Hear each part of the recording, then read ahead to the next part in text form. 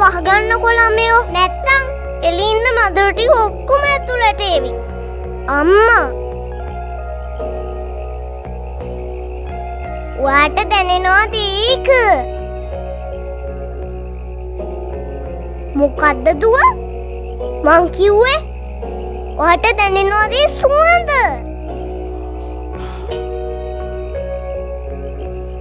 ආ! ඒ එලිය පිපිලා තියෙන ඇක්ටේරිය මල් සුවඳනේ දුව ඔව් අම්මේ ඇක්ටේරිය මල් හරිම සුවඳයි.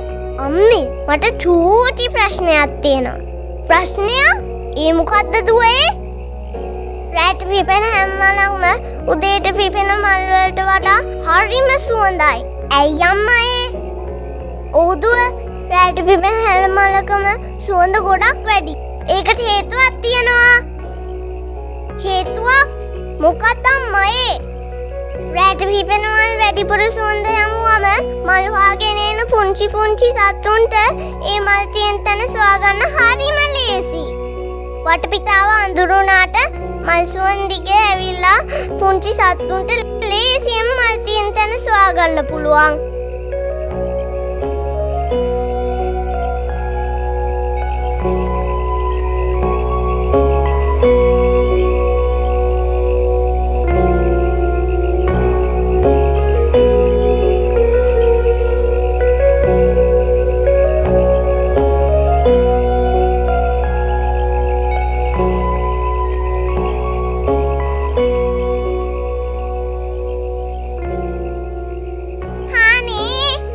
හරිම් පුදුමයිනේ අම්මා.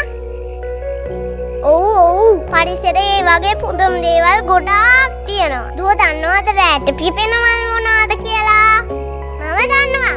ඇක්ටේරියා මල් සමන් පිච්ච මල් ම්ම්, තව තියෙනවා. කුමුදු මල් කඩපුල් මල් සේපාලිකා මල් මේ හැම මලක්ම සුවඳයි. ඒ වගේම සුදු පාටයි. ම්ම්, එතකොට ඇයියම රෑට පිපෙන හැම්මලක්ම සුදු පාට? රෑට පිපෙන මල් සුදු පාටට හැදෙන්නේ ඒ මල් හොයාගෙන එන්න පුංචි පුංචි සත්තුන්ට. ඒ මල් තියෙන තැන සොයාගන්න ලේසි වෙන්න.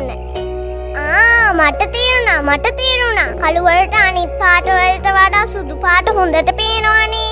එතකොට පුංචි සත්තුන්ට ලේසියෙන් මල් තියෙන තැන සොයාගන්න පුළුවන්.